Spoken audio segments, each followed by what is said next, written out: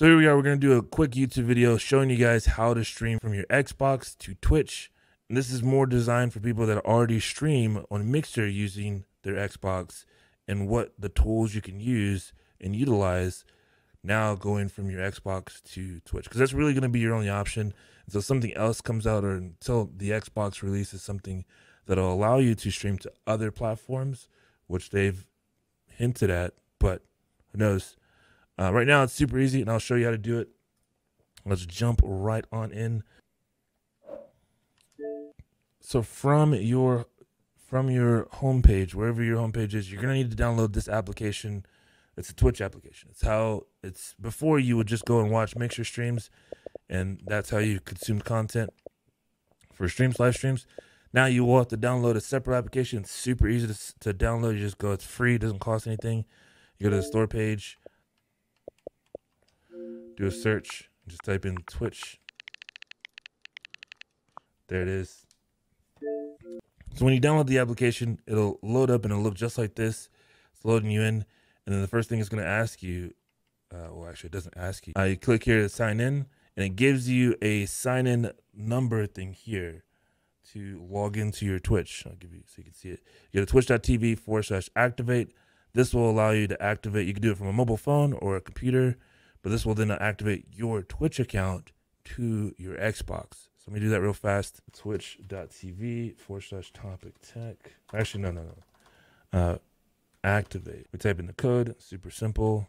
As it's authorized, it says, hey, this is your account. Sure. Once you do that, it logs you in. Once you're here, now you can go and make sure you follow Topic Tech if you haven't already. I'm sure you have.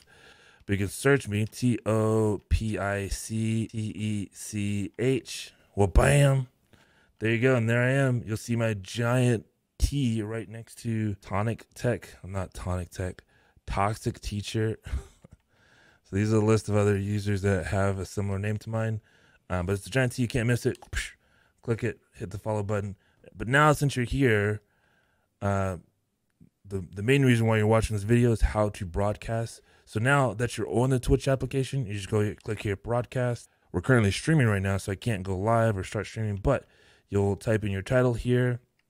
Your game will appear here. So whenever you start the game, it'll actually automatically change it for you. Super cool.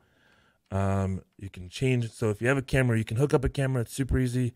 You plug it in through USB and then it allows you to toggle or place wherever you want to put your camera. So this is my camera on my PC, but we also now have the option. As soon as I plugged it up, it recognized it, gives me the option to place it somewhere. You can put it wherever you want. I normally put mine in the center on the left. So let me hide my camera. Uh, so center left. Bam. You can have your broadcast bar. This is, I believe, where you see your chat uh, bottom right or bottom left. Let's do bottom left. Your microphone volume, I don't have a microphone hooked up to it because you need a headset. Your chat volume, you would adjust it there. Your game volume, you would adjust it there. And then your bit rate, I would just put automatic.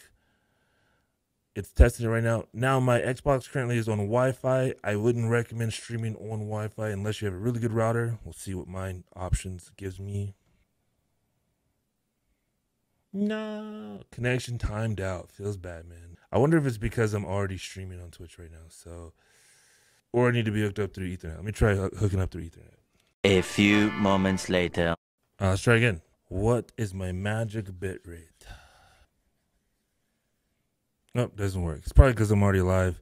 I think what it does, it like does it, it sends like a test signal.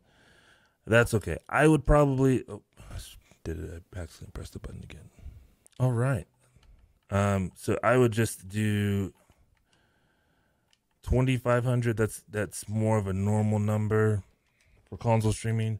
You could try like 3000 uh, that's a good number. And what that what bitrate is is just the quality of data that's being sent from your console to the streaming platform at one time. So the more the more like if you're playing like call of duty or things that are moving really fast you'd like to have a higher bitrate but your internet needs to support it and the upload speed as well too Last but not least is your stream resolution. You can do 1080p, 720p. I would recommend one of those. Again, it's really dependent on your internet speeds. Mine should be good to do 1080p, and then you just start streaming, and that's it. It's very simple. You can start going live right now, especially since Mixer is closing down and Twitch is going to be one of your only options currently to start streaming or continue streaming and bringing over your community. Pretty much it. If you're if you're going to be streaming from your Xbox, not having overlays, it's not a big deal. It's something that you can work towards, but providing content and showing your audience that you are growing um, is going to be what gets you started. Once you you know build up, maybe earn some money from streaming. There's lots of different ways you can earn money from streaming, and not just from donations and subscriptions. Once you start earning some money, then you can possibly invest in a computer that will handle a lot more of your streaming software side of stuff. Then um, you'll be good to go. Hopefully, this tutorial was helpful. If it was, make sure you hit the like button. Uh, please do subscribe for more videos like this. Small, simple, short videos. And if you have any questions, please leave them in the comment box down below. And we'll see you in the next one. Deuces.